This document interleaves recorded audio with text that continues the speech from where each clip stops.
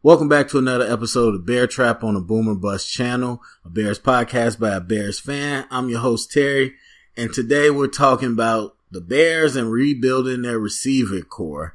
But first, I got a bone to pick with you Bears fans. Not everybody, but some of you Bears fans.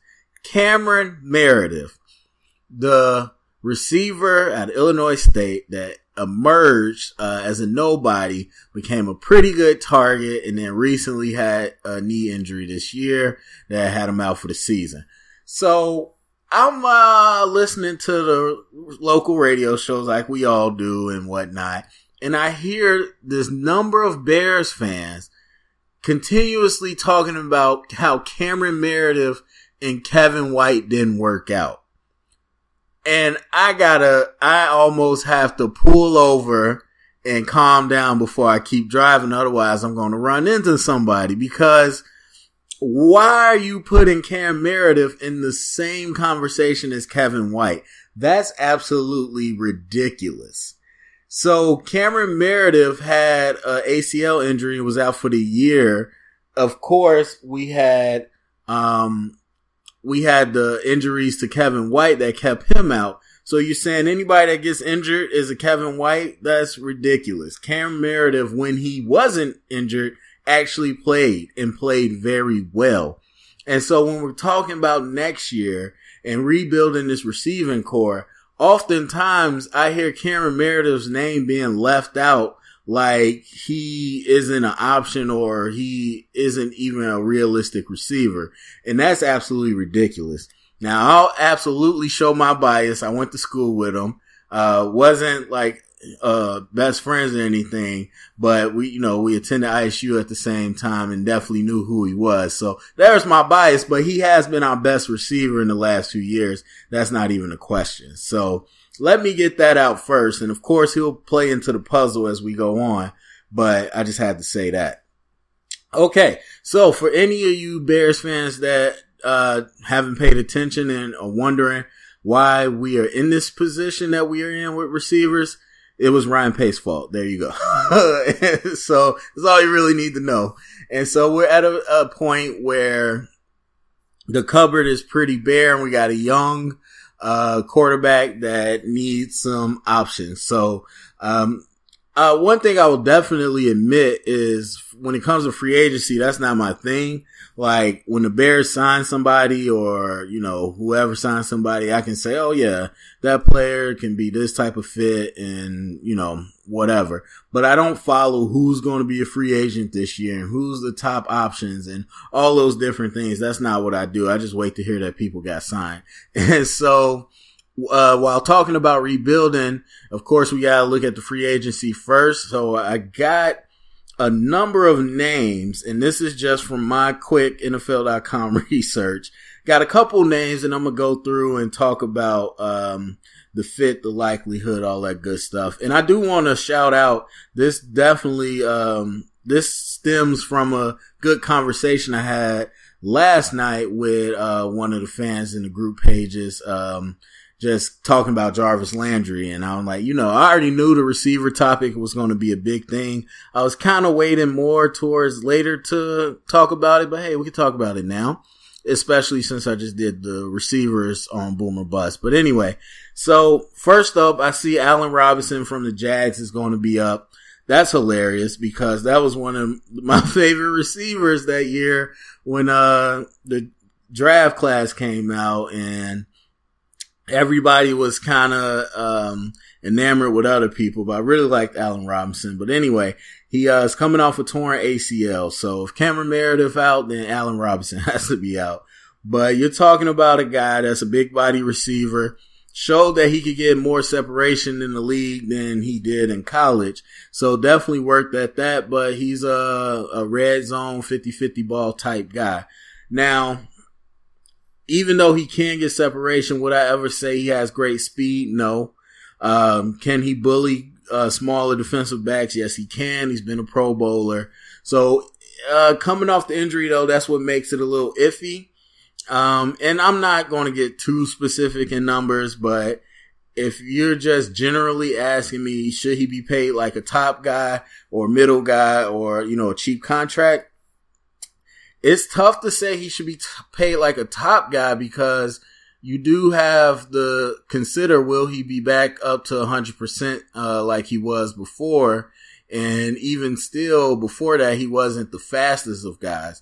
And then i think this all goes back to what type of receivers does Trubisky need. You look at what he did in college and you look at his skill set. And i do think the big body receivers are going to be some of his best friends but you want big body guys that have some speed to go downfield. And I'm not sure. I mean, Allen definitely has some deep ball potential, but the injury is what's holding me back. Um, and I, I think if you're talking about how easily can you find somebody like Allen Robinson, I would say this year you got a good chance of finding a lot of big body, uh, receivers in the draft. So I would probably take a pass on him. Not to mention that I think uh, the Jags will probably put up a decent fight with the numbers. So then that goes to Jarvis Landry, the one that was kind of the big conversation. And this is the guy that I would consider. I would consider Jarvis Landry uh, to come uh, to the Bears. A lot of people talking about how he's slow and can't play outside okay. um, I, I, got into the talk about him being able to play in the slot and pretty much if it matters where he produces, if it's outside or inside, uh, this is a guy that has some of the most catches in the last few years. So, um, you know he can produce. You know he has a lot, a lot of talent as far as route running and his hands. Um, you know, he has return abilities, been the Pro Bowl like three straight times. So the real question everybody's asking, is he worth top receiver money? And it's tough. So the Bears got a lot of cap room. That's where it really gets tricky. Uh, you gotta think, um, and again, it, it it's weird because I don't know all the free agents. You got to think that you got you're going to spend most of your money on offense. Um, and I don't know. I, I I've seen the Bears have plenty of cap room left over after the free agency the last two years. So to sit here and say that paying Landry top money is going to kill us is not true at all. Um, but if he was asking, you know, top five dollar, no, I wouldn't make him the highest receiver paid or anything like that.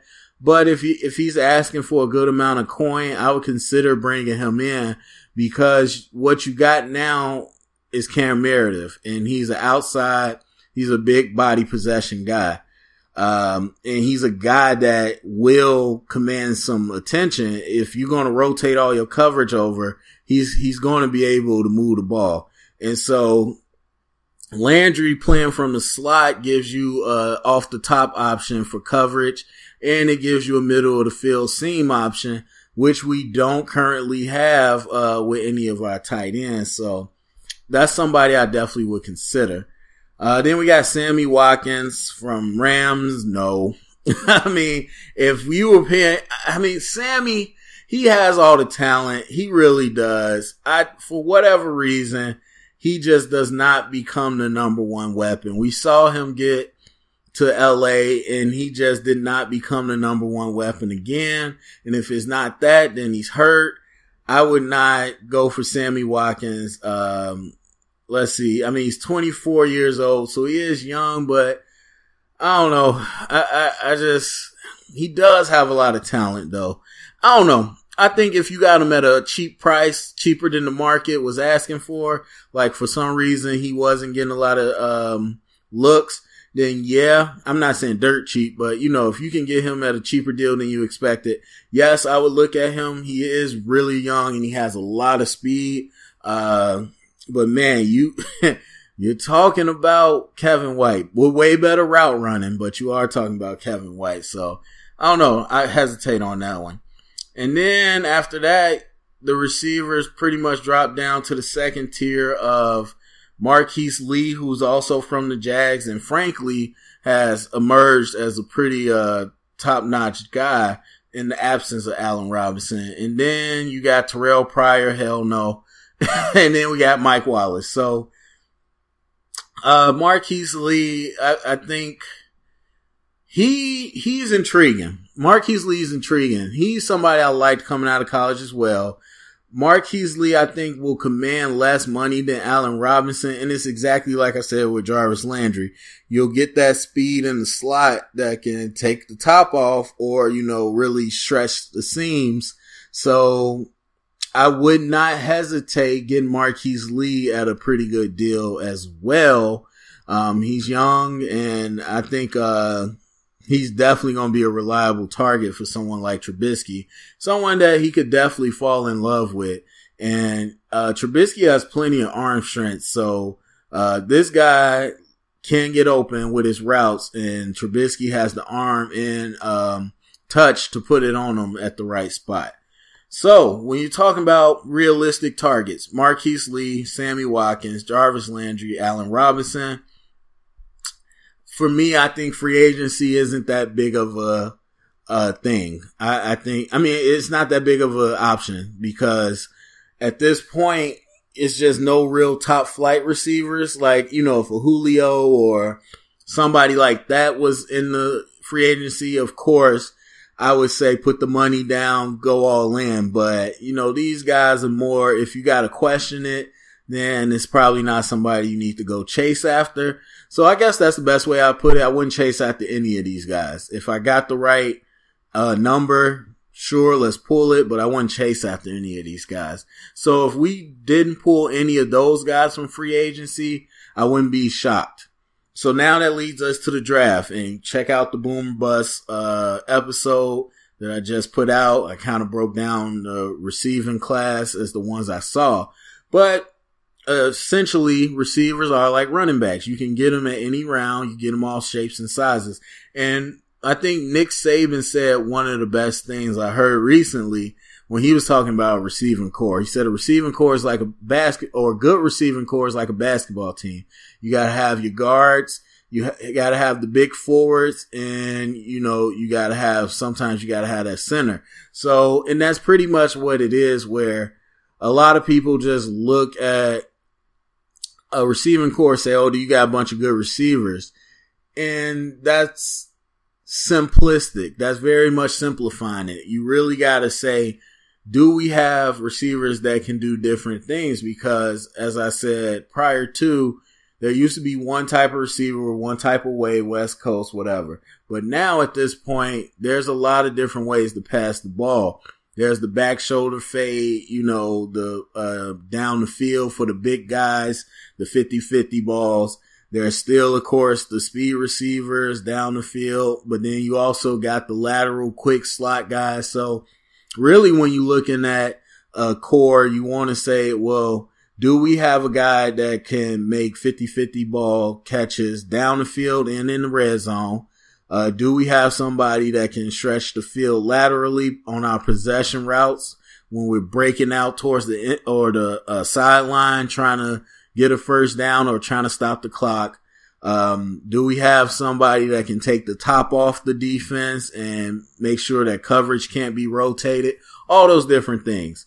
Um, and so it's got to be well balanced. I don't know how I got on this, but basically, let's just go to the draft. So for me, we're looking at the Bears picks, of course, we got number eight. Um, then we got our second round. We don't have a third round.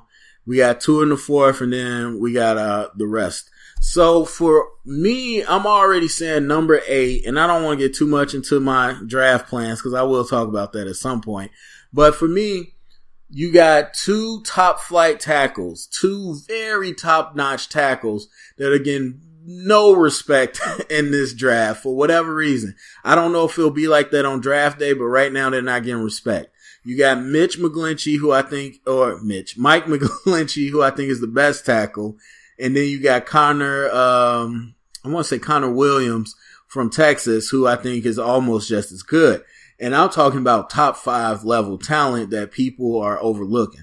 And so if that's the case, I move down from eight into the teens and try to pick up another second round pick because the Bears do have a lot of needs and I don't want to, uh, I don't want to sit here and say we can just draft seven guys and be okay. We need some extra picks.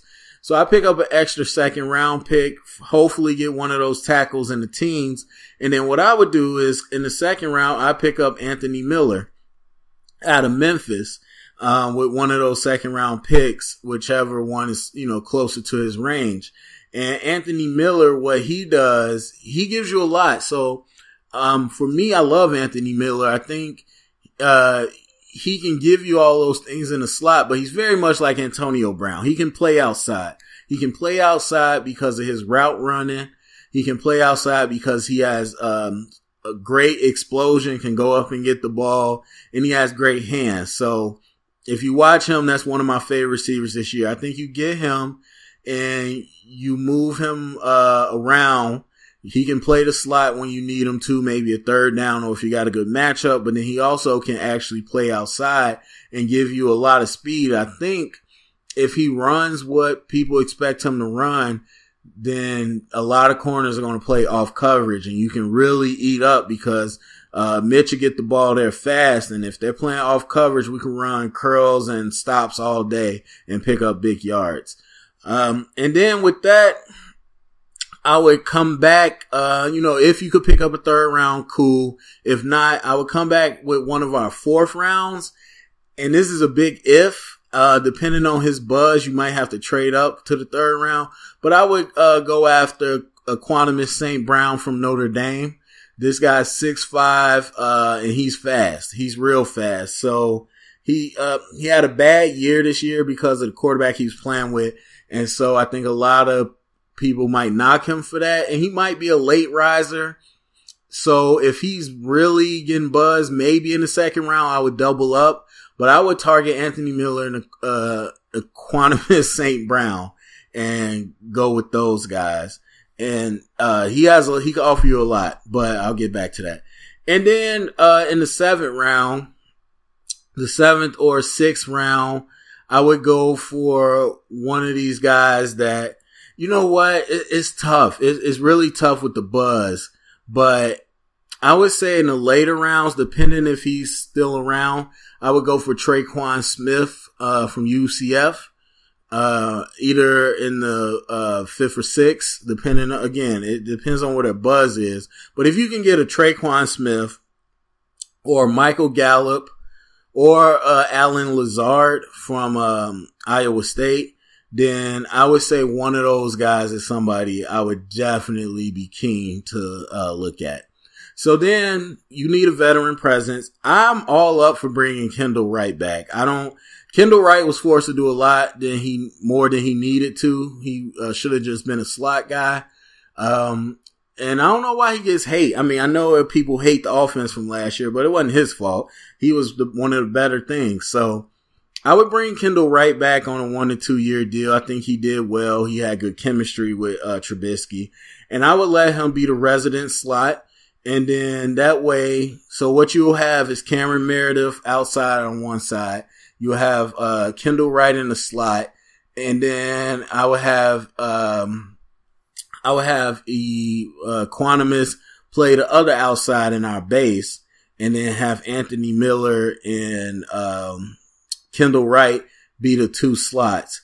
And honestly, I mean, yeah, you got Shaheen, but I would probably use, if I had those four, I would probably use Anthony Miller a little more on the field than I did, uh, with, um, Adam Shaheen, Adam Shaheen definitely for our rundowns and for our red zone stuff. But, uh, I would, you know, the offense we think we should see, I would definitely, uh, have those guys out there. And you think about, um, Tyreek Hill, you think about Albert Wilson and the type of guys they had in Kansas City. They were smaller. Um, and I think you could really find a place for Anthony Miller to go down. So anyway, what I'm proposing is grabbing Anthony Miller in the second round, and then at some point trying to get Equanimeous Brown, uh, St. Brown from Notre Dame, and then bringing back um, Kendall Wright, and then of course you'll have to return to Cameron Meredith. And then if you could get one of those bigger body guys in the later rounds, I really think those guys can develop as well. Uh, a lot of people, you know, I recognize you need a veteran presence, and I do think Kendall feels that. Um, but you you look at the top of this free agency and I don't see anybody that I need to get. And so I will take the chance with those young guys. I mean, Cameron Meredith is still, of course, a vet and Kendall. So I think if you bring in two young guys like Anthony Miller and Equanimeous St. Brown, I think you'll be okay having those guys get a lot of reps. So anyway, uh, I tried to go quick, didn't work, but I would love to hear what you guys think. Uh, I know everybody wants to rebuild this receiving corps so much. Tell me why everybody keeps counting Cameron Meredith out. Um, but tell me what you would do and what you're thinking, uh, we should target. Go to comment section. Let me know. Thumbs up, subscribe, share it around, and remember, stay up and bear down.